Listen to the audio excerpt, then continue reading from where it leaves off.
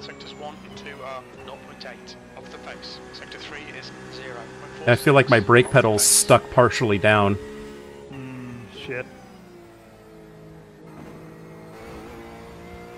I Think it's related to the fluid issue?